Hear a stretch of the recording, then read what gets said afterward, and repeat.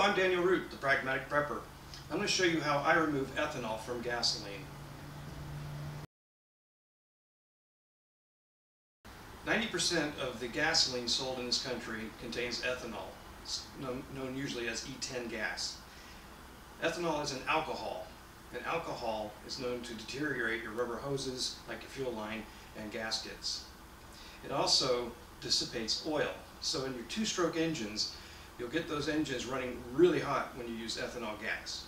I've already gone through a lawnmower, a weed whacker, and a generator because of ethanol. So I decided to figure out how to remove it, and I'm here to show you today how I do.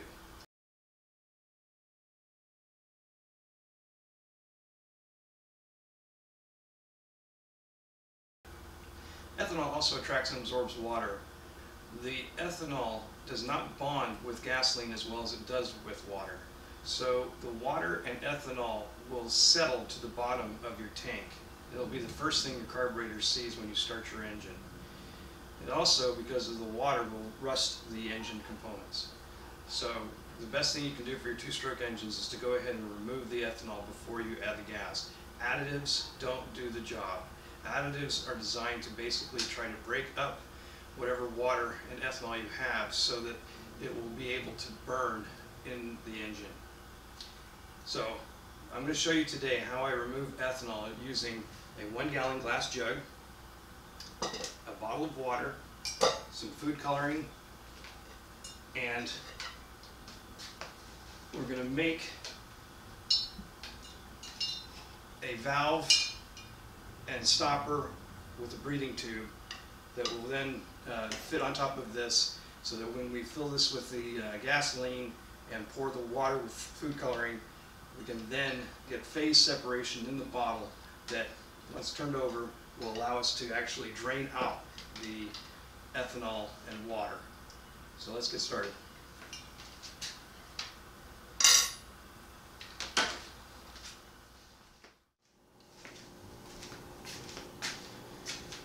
So here's the secret I learned to removing ethanol from gasoline. I bought this one gallon jug from Amazon for about $11.55. I went to my local hardware store, Lowe's, and picked up this valve and poly tubing, quarter inch poly tubing.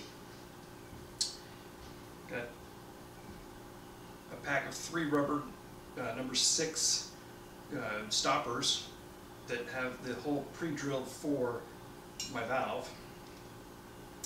But you're going to need to have an air breathing tube for the uh, siphon effect to work on the bottom once we're done with the uh, removal of ethanol. So I had to drill a hole in the rubber stopper to accommodate this brass tube.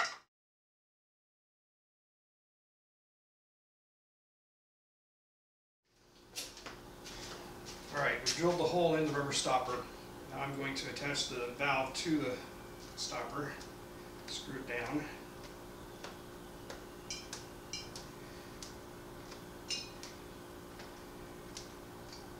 And then we want to line up that hole that we drilled so that it uh, faces the back side of the valve. You'll see why in a minute.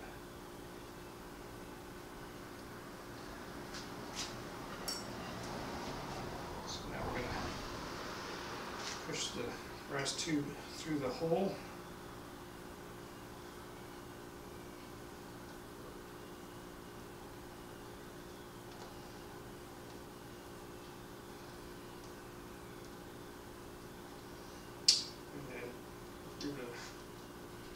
Bit of room to reach down inside the bottle. And just double check the work there. You can see that the tube doesn't hit the bottom. Okay. Set that down. Now we're ready to begin filling the jug with gasoline.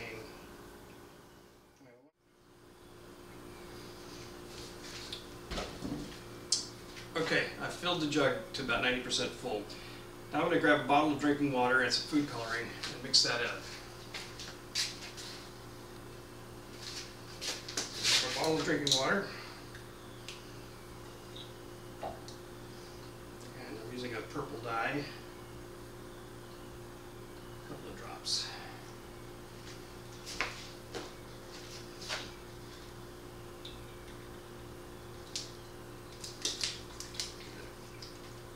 Shake.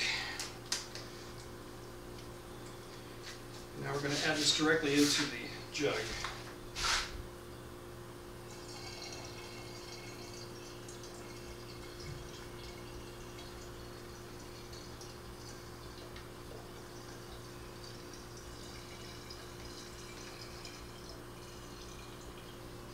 Set this aside because we will be using it. All right. Now with our assembled valve and stopper with the breathing tube, we'll make sure we get that down there nice and tight. I'm going to shake the bottle.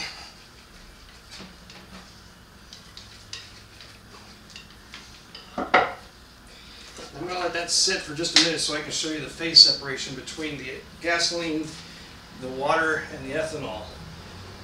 There's what's called phase separation and, and is very clearly visible at this point. I'm gonna bring the camera over.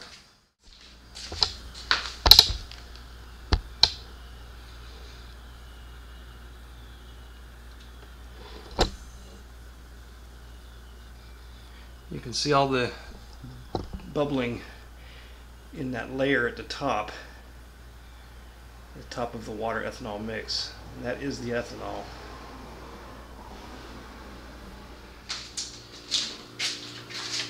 All right, so the water and ethanol have settled at the bottom, and it's time to go ahead and drain this. I've got two bottles that are going to be used to fill this because gasoline that's sold in our state is E10, which means it's 10% ethanol. And we should have at least a full bottle and then probably another half bottle when we're done with this exercise. So what we're going to do now is we're going to set this up in a stand that uh, is actually the stool. Uh, I've repurposed it for this use. The valve's closed, the cap is on tight. Feed your line down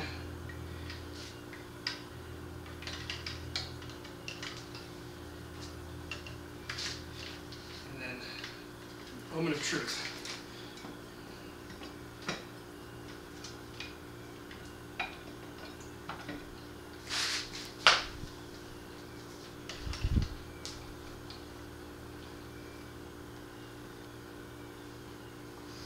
All right, now that we've actually uh,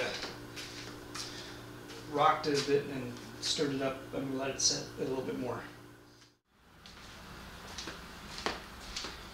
Okay, this part can get a little tricky, but uh, if you have a second person, it might not be a bad idea to have their help. I've learned to just use a uh, can cooler for my plastic water bottle. See if we can get this on film. All right, best to use two hands with the uh, valve. Go ahead and start draining the liquid.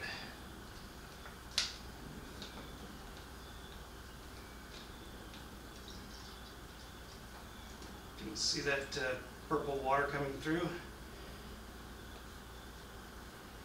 We should be able to fill this bottle and probably about half of that bottle. If you recall, we poured a full bottle of water in, so we definitely will get that reclaimed. The addition is the ethanol.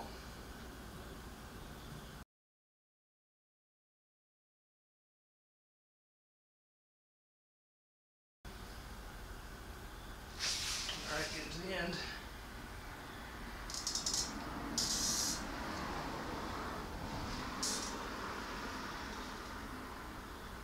All right. So, there's our original bottle. Here's our uh, additional E10, 10% ethanol. So we can now say that our gas here in this jug is pure gasoline. Thank you for watching.